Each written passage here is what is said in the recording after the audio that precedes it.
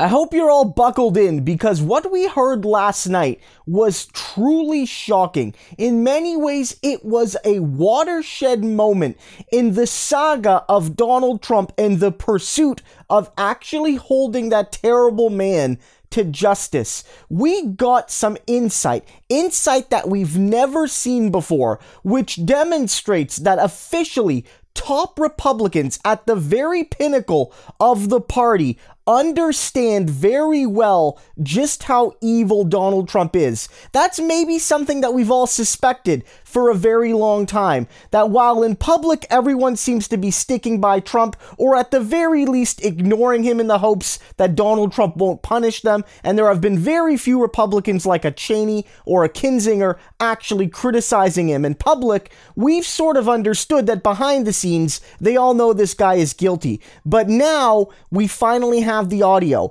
But the audio shows something even more shocking than I originally thought. It's an open admission that Donald Trump is a criminal and that Republicans at the very top of the party want this man locked up, handcuffed, and arrested for his crimes. But you know, it's another thing entirely uh, for him to deny that this all happened when in fact it happened. In a statement to the New York Times earlier today, a spokesman for Kevin McCarthy issued a flat denial that McCarthy ever said he would push Trump to resign. That spokesman said, quote, McCarthy never said he'd call Trump to say he should resign. McCarthy never said he'd call Trump to say he should resign. To further clarify, you should also know that NBC News reached out to the congressman's office following that statement, specifically asking again and drilling down on the question of whether or not Mr. McCarthy said he would push President Trump to resign. His spokesman responded saying, quote, no, he did not. Leader McCarthy also issued a statement himself today saying in part, quote, the New York Times reporting on me is totally false and wrong. The problem with these denials from Mr. McCarthy and his office is that we have now obtained audio of that January 10th phone call that Leader McCarthy held with other top Republicans, in which he in fact said he's going to call Trump and tell him that he must resign.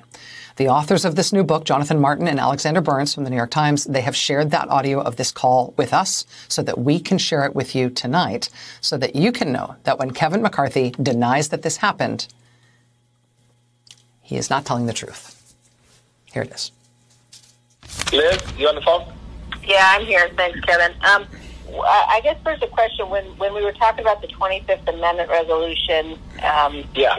And you asked if, if, you know what happens if it gets there after he's gone. Is is there any chance? Are you hearing that he might resign? Is there any reason to think that might happen?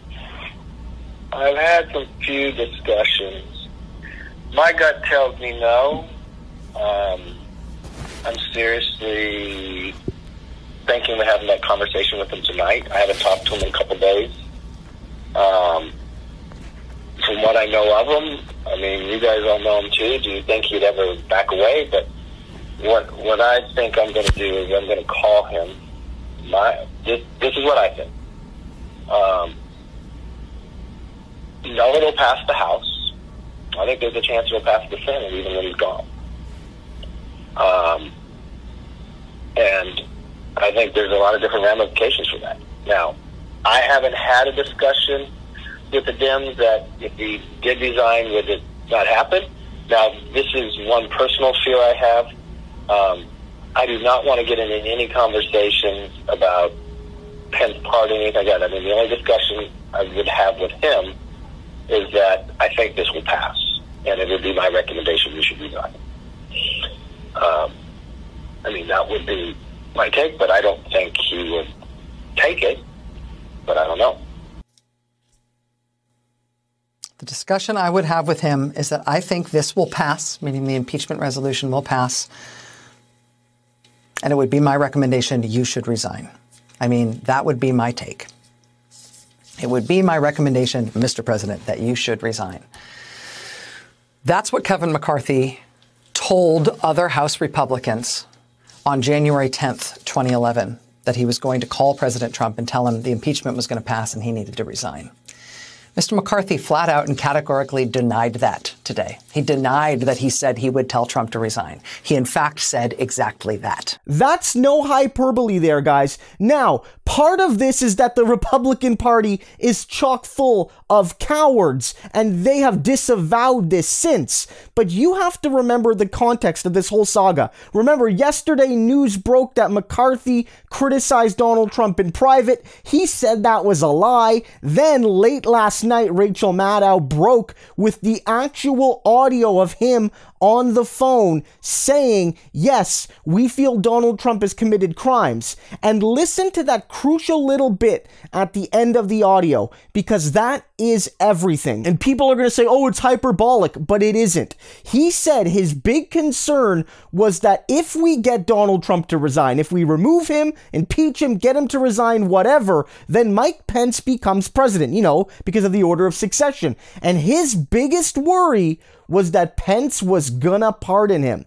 Now, why would Kevin McCarthy be worried about that? If he just felt Donald Trump did something amoral or immoral or dastardly or whatever, but not necessarily criminal, then just getting rid of Trump would have been enough. You would have been satisfied with that. But he was worried about a pardon because Kevin McCarthy's goal, at least at that crucial interval, and again, this represents the leadership of the Republican Party. He and Mitch McConnell are the two po- most powerful men in the Republican Party, he wanted to see Donald Trump charged and handcuffed and arrested, and he really worried that if Trump got a pardon, that wasn't possible. Now, of course, now they've backed away from all of this, but this is the true feeling, or at least it was when it mattered most. And I'm not the only one that thinks this. It says here big revelation on the Kevin McCarthy audio talk of Pence pardon suggests McCarthy may have thought Trump committed crimes. Quote, it just seems clear that McCarthy understood that Donald Trump had committed committed grave crimes against the Union, Jamie Raskin tells me. And now we're seeing the fallout from this, which is this just beginning. You know, you see Matt Gaetz starting to attack him, starting to say that he was loyal to Trump and McCarthy must go and all of that. But remember, at least for a moment, the very top of the Republican Party, just like the rest of us, wanted that man rotting in prison for the rest of his life. And they were right for once.